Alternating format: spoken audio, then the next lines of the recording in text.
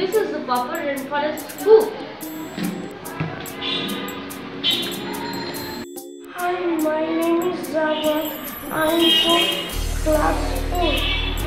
This is a pop-up rainforest book. You make it, Jawad? Yes? A rainforest is a hot, wet place where the plants grow all year round. The trees grow enormously tall, creating a huge green root called a canopy. Hundreds of animals live in the forest. Some species never set foot on the ground. The animals in this book don't live in the same part of the world. This map shows where they live and where rainforests grow. This is a gold and blue macaw. Three-toed sloth. This is a nice, beautiful butterfly. A fruit bat.